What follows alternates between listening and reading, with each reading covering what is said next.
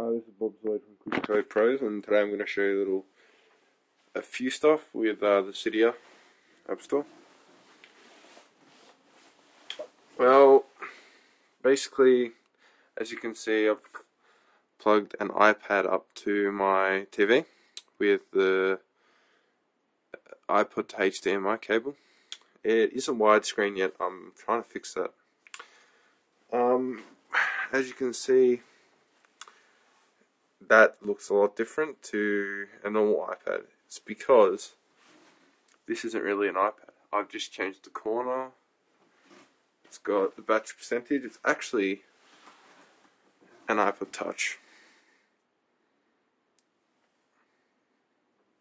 The cool thing about this is it shows where you're touching. It's got portrait, that mode, yeah.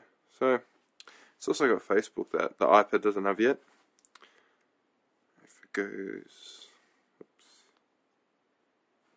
get out of that.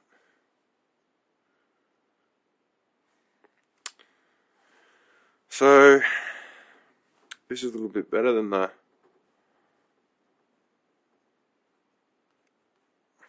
sort of iPod Touch um, thing, and then so I put the barrel it just changes the way you scroll. All the other tweaks, um,